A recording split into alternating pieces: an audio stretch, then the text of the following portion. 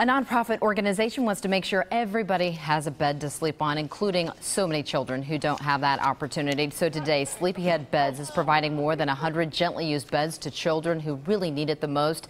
This is the most they have ever provided for the children here in Kansas City. More than 50 volunteers work to clean and sanitize the mattresses before delivering them in person. having a bed helps these kids throughout the day, helps them perform in school.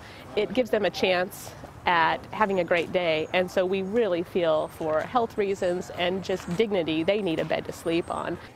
Sleepyhead Beds also provides new cribs for infants and for toddlers.